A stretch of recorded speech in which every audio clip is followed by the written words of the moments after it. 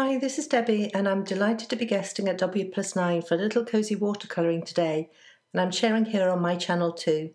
Let's jump straight in, and I'm going to be using the Cookies and Cocoa set for this card in a style I'm drawn to, that of a focal point of no line watercolour on an otherwise clean and simple card. I have a piece of Arches cold press watercolour card in the Misti, and I'm stamping the cups with antique linen distress ink. This is my favourite ink for no line watercolouring as the ink is highly reactive with water and so blends in beautifully with the paints to leave a no line watercolour look. I decided on a design where three of the cups from the Cookies and Cocoa set overlapped one another. You could stamp and trim out mass to cover the cups as you stamp the marshmallows and subsequent cups, but I went for the easy option and wiped the ink away with my finger from areas I wanted left blank, and then stamped. So for each cup I wiped the back rim of the cup before stamping on the card and this left room for me to add the marshmallows. It's not a perfect technique, but as the antique linen distress ink will blend in so easily with the watercolour anyway, then it doesn't have to be perfect. Each time I stamp the cups once, but for the marshmallows I stamp them twice, and that's because I intend to use this ink as the main colour for the marshmallows, and so wanted to get a good clear impression whereas the cups I was less concerned about as I knew I wanted to bring in a reasonable depth of colour from the watercolours and the stamped outline is purely serving as a guide for where to paint.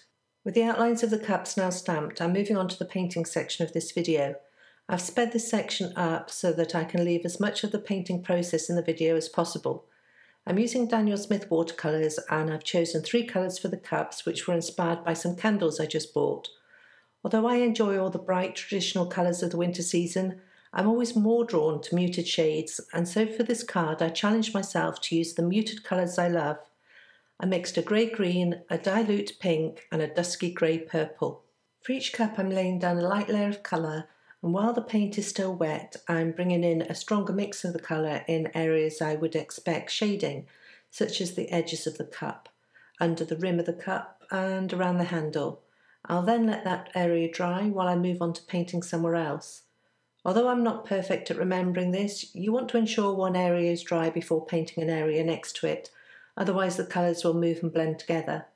Sometimes that's the look I want, but for today I want the edges of the cups to be clearly defined, and so I'm moving around the different areas, painting where I can while other areas dry. I do prefer the paint to dry naturally, but I'm impatient, and so I use the heat tool to dry areas off However, I do leave them as long as I can before bringing in the heat tool so that there's as much time as possible for the shadow areas to smooth and blend out. For the marshmallows, I'm using the antique linen distress ink that I stamped them in as the base colour. I'm bringing in a little brown and then dotting in some of the pale pink that I used for the cup at the back. I was imagining these marshmallows to be a mixture of pink and white ones, then dusted with cocoa powder, perhaps even a little melty and sinking into the cocoa. More than anything, I wanted to get some colour onto these marshmallows rather than trying to paint them as white marshmallows against a white background. Moving on, and I'm now painting the pink cup at the back. I want this cup to read as pink rather than red, and yet I want to make sure I have some shadows to bring in dimension too. And to be honest, I find that a hard balance. Too much of the darker colours, and the cup won't read as pink anymore, so I'm being careful when adding the shadows. Now that the base layer of colour on the cups is down, I'm bringing in more layers and deeper and darker colours and shadows. This will help to give the cups a rounded look rather than a flat look that they have after the first layer of paint. Building up layers like this is my favourite way to paint with watercolours. I'm quite a tentative painter and therefore starting light and building up to darker colours really suits me rather than going in strong at the beginning and then regretting it. Little by little I can keep adding layers until I'm happy also, I really like the extra texture you get as the layers overlap one another. This method does take more time than going in with rich colours at the beginning, but I really enjoy the painting process and so I'm in no hurry but simply enjoy putting paint on paper. To finish off the painting, I added a light shadow beneath the cups, which I blended out with plenty of water. This will help ground the cups and stop them looking like they're floating in midair. Then I took a little white gouache and added a few highlights. Gouache is an opaque watercolour and so even though I'm painting a pale colour on top of darker one, it will still show up. Once I was happy with the watercolour on the cups, I splattered a little of the green watercolour mixture around the card and then I added splatters of a solution of perfect pearls. This is one of my most favourite ways to add sparkle highlights and that ethereal look that I like. With all the wet work now complete, I've placed the watercolour card back in the Misti and I'm going to stamp and white heat emboss the snowflake from the Cookies and Cocoa set on a couple of the cups.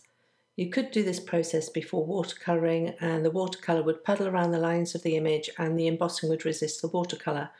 However, I find I get a cleaner look to the embossing if I stamp and emboss after watercolouring.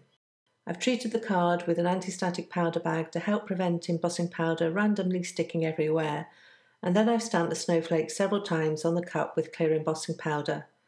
Because the cold press watercolour card I'm using is textured, then you have to stamp at least twice, if not three or four times, to ensure you get a good impression. Then I sprinkled with white embossing powder and melted the powder with a preheated heat tool.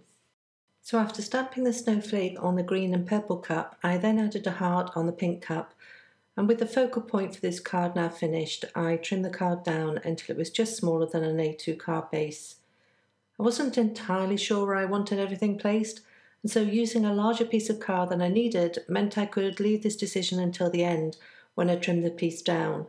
I don't waste any card as I use the offcuts on other projects, and even the smaller pieces I keep for testing watercolours as I paint.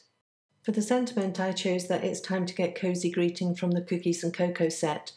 I treated a scrap of slate card with a powder tool, stamped the sentiment in clear embossing ink, sprinkled with white embossing powder and heat set.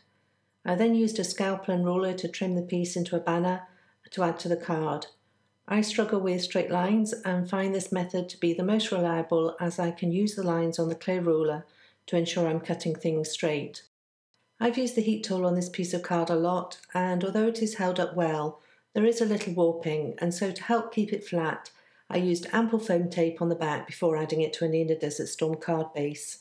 I also added foam tape to the back of the sentiment strip and then added that to the card so that it overlapped a couple of the cocoa cups, and I used a T-square ruler to ensure I had it on straight. To finish off the card, I added a few sequins in toning pastel colours to bring in a little more sparkle for the season and kept those in place with Nuvo Deluxe adhesive. And that completes this relatively clean and simple Cozy Cocoa card using a focal point of no line watercolour cups in a muted winter colour palette. I want to thank you for joining me today and Dawn for inviting me to guest for W plus 9. I'll leave links in the YouTube description below to the products that I've used today, as well as a link to the coordinating blog post over at limedoodledesign.com. If you've enjoyed this tutorial, I'd be delighted if you subscribe to this channel. Thanks, and I'll see you next time.